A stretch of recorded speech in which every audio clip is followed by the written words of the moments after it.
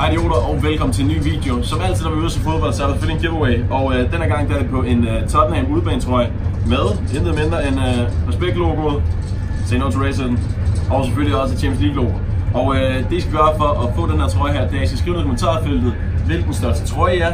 Så skal I selvfølgelig subscribe til den her kanal her, og så vil I gøre os skide glade, hvis I gad like, og hvis I gad at fortælle jeres venner om den her kanal her, det vil vi rigtig gerne ramme 10.000 subscribers. Og det er bare sjovt at lave content, når der er nogen, der ser med. Så øh, fortæl jeres fodboldinteresserede venner om kanalen, det vil gøre os pisseglade, og vi laver videoer to til tre gange om ugen. For det meste tre gange, nogle gange smutter lidt, måske den her uge her. Men en anden ting der er, i videoen der burde de på et tidspunkt af Champions League hymnen. Og øh, hvis I godt kunne tænke jer en video om, hvorfor de gør det, så øh, skriv lige ned på kommentarfeltet, så ved vi, det er noget, I gerne vil høre om. Og øh, ja, så ellers bare til videoen. Nyd den.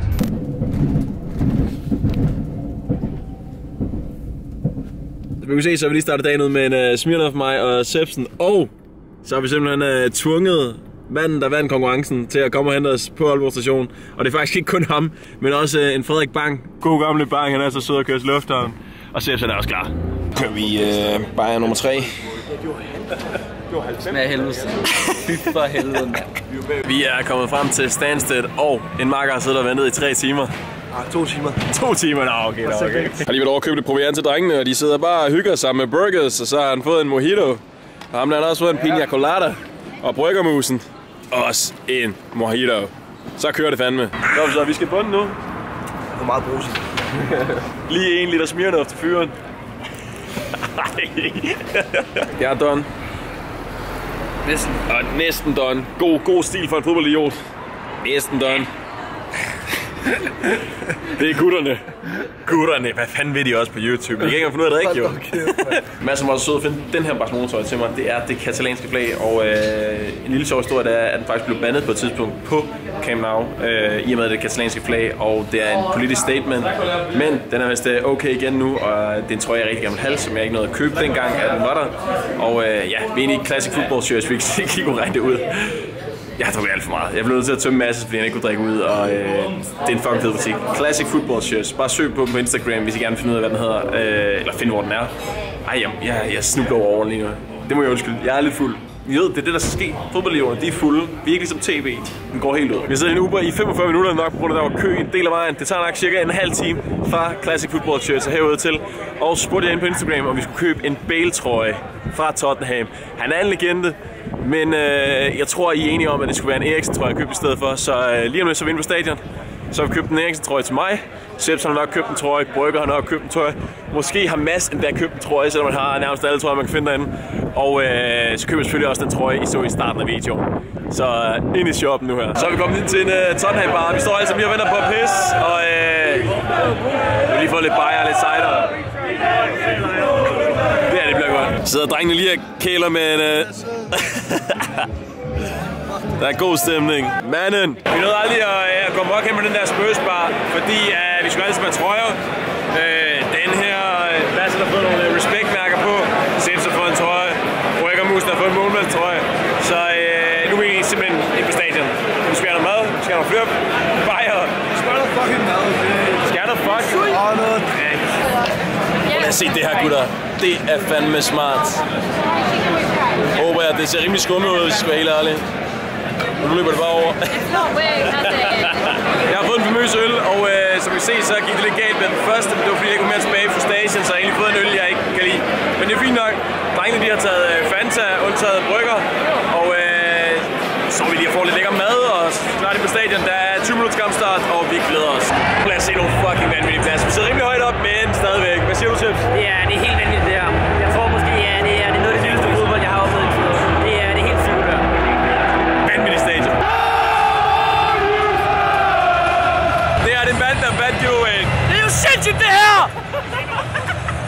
Der, gutter. To dare is to do it. Glory, glory, Tottenham Hotspur. Glory, glory, Tottenham Hotspur. Vi kan høre lige slutningen af sangen, men hvad siger du til hyldingen? Det er helt vanvittigt. Det er 10 ud af 10.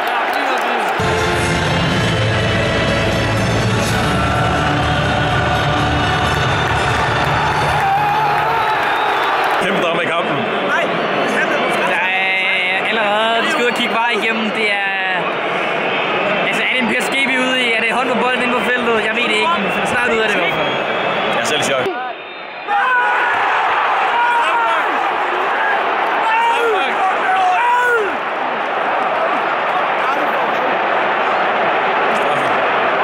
Og det er Danny Rose, der får gul.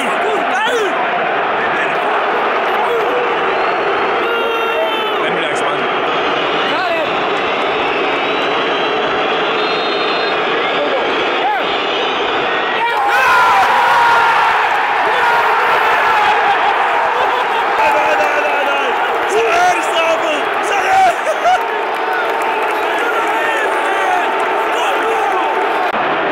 Kane har nærmest lige haft 100% chance, vil jeg sige. En mand af Kanes lige vil score på den der. Altså, jeg har set uh, anden divisionskamp, hvor de skruer på den her, ikke? Det siger det hele. Ja, det er blevet lidt køligere, men vi er gået i gang med anden halvleg. Første halvleg endte den 0-0, som I nok ved, hvis I går bare lidt op i fodbold og får det med i Champions League. Men øh, Spurs sidder på spillet, det vil jeg sige. Og øh, vi fik det meste ud af første halvleg, hvis man skal holde med Spurs, fordi vi så en straffe i den her ende her. Og nu får Spurs lov til at score det, vi sidder i. Så øh, alt godt for vores side af, og nu håber vi bare på øh, en masse mål til Tottenham. Hvad siger du til skaden? Det er sørgeligt. Harry Kane ude. Ja, men vi så, hvordan vi havde klaret ud uden Kane sidste gang. Der vandt vi flere kampe end med ham. 73 minutter er der ikke øh, kommet nogen mål nu, men der har lige været øh, slåskamp bag øh, Tottenhams mål. City-fan hoppede over deres indregning og løb så over og begyndte at slå på dem med øh, Tottenham-fans bag øh, Tottenham mål. Vanvittigt arrangement. Vanvittigt arrangement. Men øh, kampmæssigt ikke sket så meget.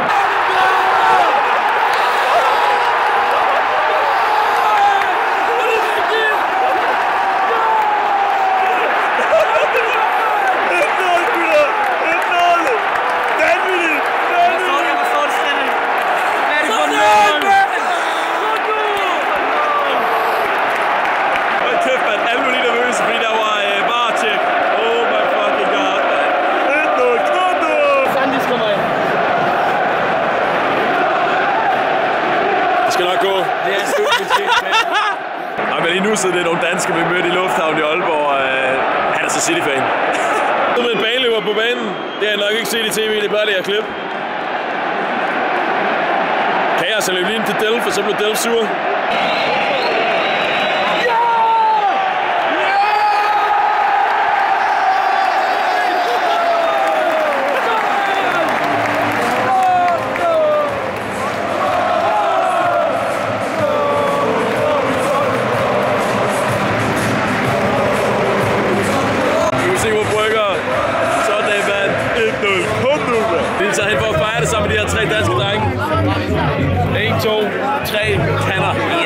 Også købt en kande? Så har vi fandme kander der, ikke? Fire kander. Ja, tak. Skål, gutter. Skål. Og god kamp. Skål. Og så især herovre jo. Der er også derovre, sin fan. Der spiller derovre. So careful, Judas. I wanna know why such a cunt. Yes, jeg er klar igen. Har lige brækket sig ud over mig. Hvad så? Jeg er frisk igen. Det er kunstigt. Det er, det er nyt indhold, det der. Det er nyt. Det er nyt. Det var bare to øl, der var nede. Det er sgu i orden, det der. Der er ingen, der har set det før. Det er, spritnyt. Men du har brækket ud over alt. Det er lige meget, det er bare væske. Han har lige brækket sig på min ryg. Gutter, jeg skulle af her på den her gang her. Øh, efter Brygger han brækkede sig, så tænker jeg ligesom, øh, at, at det er nok tid til, at vi kommer hjem. Mads han skal også flyve i morgen tidligt, og vi skal videre op til øh, Manchester og se Manchester United mod Barcelona.